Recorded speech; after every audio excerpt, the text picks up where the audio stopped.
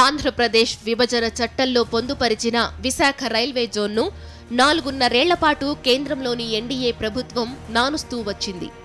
నాలుగేళ్ళపాటు బీజేపీతో కలిసి కాపురం చేసిన తెలుగుదేశం పార్టీ రైల్వే జోన్ కోసం కేంద్రంపై ఒత్తిడి తీసుకురాకుండా కాలక్షేపం చేసింది. విశాఖ రైల్వే జోన్ ఎట్టి పరిస్థితుల్లోనూ ఇవ్వాల్సిందేనని ఆంధ్రప్రదేశ్లో ప్రధాన ప్రతిపక్షమైన వైఎస్సార్ కాంగ్రెస్ పార్టీతో పాటు వామపక్షాలు కూడా ఉద్యమాలు నిర్వహిస్తూనే వచ్చాయి.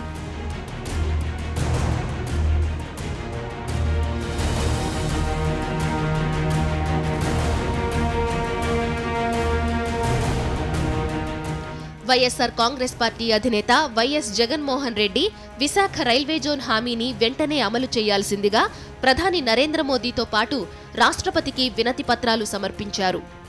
వైఎస్సార్ కాంగ్రెస్ పార్టీ నేతలు రైల్వే జోన్ కోసం ఎన్నో దీక్షలు చేశారు.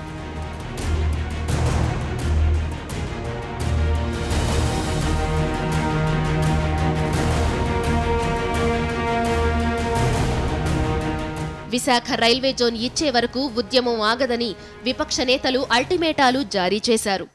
ఇవాళ కొత్త రైల్వే లైన్కు ఊతం రావాలన్నా మనకు జోన్ రావాలి. ఉద్యోగ అవకాశాలు మెరుగు కావాలన్నా మనకు జోన్ కావాలి.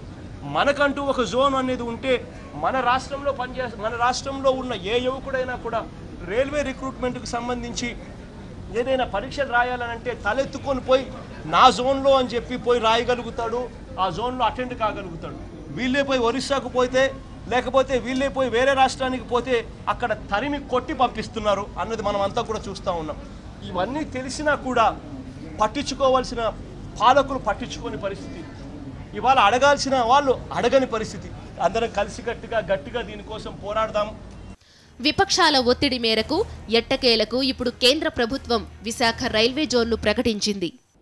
As per item 8 of schedule 13 relating to infrastructure of the Andhra Pradesh Reorganization Act 2014 with the creation of a new zone with headquarters at Vishakhapatnam.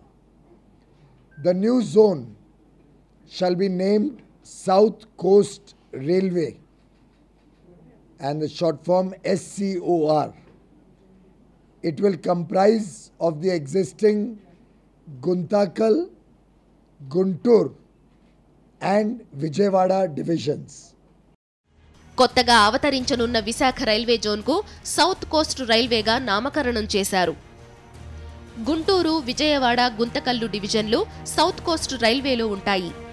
ప్రస్తుతం ఉన్న వాల్తేరు డివిజన్ను రెండు భాగాలుగా విభజిస్తారు. వాల్తేరు డివిజన్లో ఒక భాగాన్ని సౌత్ కోస్ట్ రైల్వేలో విలీనం చేస్తారు.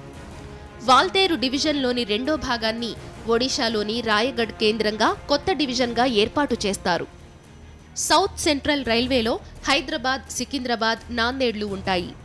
దేశంలో ఇప్పటి వరకు పదహారు రైల్వే జోన్లు ఉన్నాయి. ఇప్పుడు సౌత్ కోస్ట్ రైల్వే జోన్ పదిహేడవది. విశాఖపట్నం కేంద్రంగా సౌత్ కోస్ట్ రైల్వే పనిచేస్తుంది. విశాఖ రైల్వే జోన్ ఏర్పాటుతో ఆంధ్రప్రదేశ్ పారిశ్రామికంగా మరింతగా అభివృద్ధి చెందుతుందని రైల్వే జోన్ కోసం ఉద్యమించిన వారు అంటున్నారు. ఉపాధి అవకాశాలు పెరుగుతాయని వారు ఆనందం వ్యక్తం చేస్తున్నారు.